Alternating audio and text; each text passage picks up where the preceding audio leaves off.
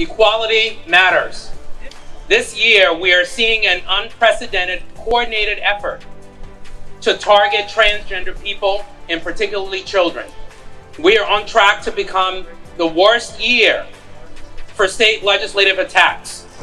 In this session in Texas, the legislature has introduced more anti-equality bills than any other state in the country.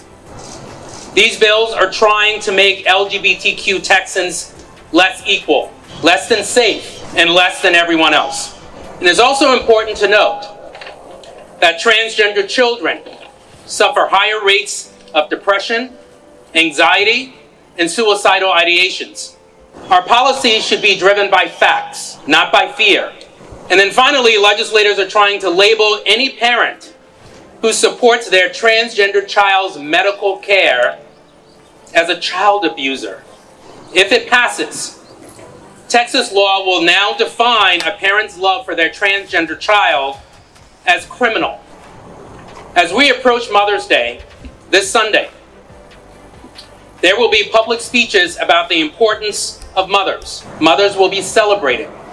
And I don't know how many mama bears you have met, but I have one thing to tell you. They are fierce. They are strong.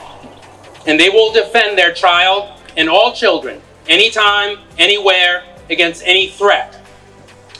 These mothers and parents across the country are heroes, not criminals. The only people who should be labeled abusers here are legislators who are trying to hurt trans kids for political gain. Yes.